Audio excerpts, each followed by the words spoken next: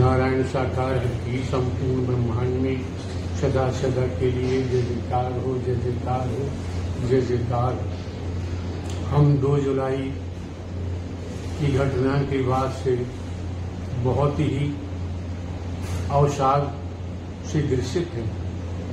लेकिन होनी को कौन टाल सकता है? जो आया है, उसे एक दिन तो जाना भी है। भले ही कोई आगे पीछे हो। हमारे वकील, डॉक्टर एपी सिंह जी, एवं हमें भी जैसा प्रत्यक्षदर्शियों ने विषैले स्प्रे के बारे में बताया वह पूर्णतया सत्य है कि कोई, न कोई साजिश ज़रूर हुई है।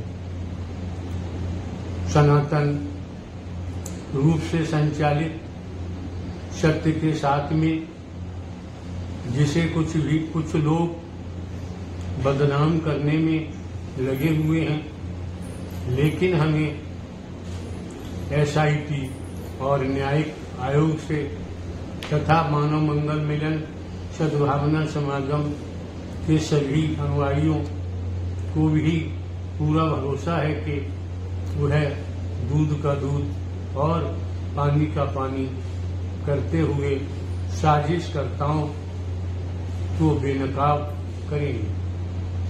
हमने वकील doctor A P Singh ji के माध्यम से कमेटी के महापुरुषों से भी ये विनती की थी कि दिवंगत आत्माओं के परिजनों और इलाजरत घायलों के साथ जीवन पर्यंत तनमन धन से खड़े रहने की अपील, खड़े रहने की जिसको सभी महापुरुषों ने अपनी अपनी सामर्थ्य अनुसार मानना भी शुरू किया है।